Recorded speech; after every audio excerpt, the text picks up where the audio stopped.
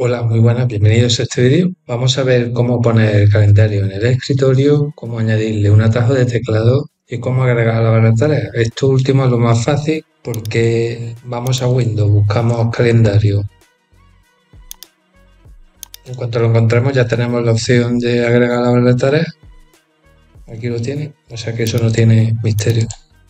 Lo que no tenemos una opción disponible así a bote pronto para llevarlo al escritorio o cualquier otra carpeta. Para ello vamos a utilizar el truco de ejecutar, que es pulsar Windows más R. Me refiero a Windows, esta tecla y R. Nos va a salir la ventana ejecutar.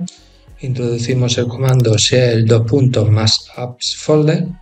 Pulsamos intro aceptar. Se nos va a abrir esta carpeta Aquí buscan calendario, ya sea con el buscador o, directamente, puesto que está ordenado por, alfabéticamente, quiero decir. Entonces buscamos la C, calendario, hacemos clic derecho y crear ese directo. Nos va a decir que si lo queremos en el escritorio, del escritorio ya lo podemos, por ejemplo, con la opción de cortar, lo podemos mover a cualquier otra carpeta o incluso podría ser arrastrando el atajo de teclado es también muy fácil, simplemente es botón derecho sobre el acceso directo.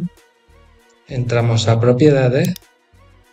En el campo de tecla de método abreviado ponéis eh, lo que queráis. Yo voy a poner Shift más Control más W. Tenéis que comprobar luego que funcione, puesto que algunos ya están cogidos por el sistema operativo u otras funciones y no funcionan. Y luego cómo queréis que se abra el calendario, si maximizado, minimizado o en ventana normal. Y simplemente es darle a aplicar, aceptar, comprobar que funciona el atajo de teclado y, y ya está.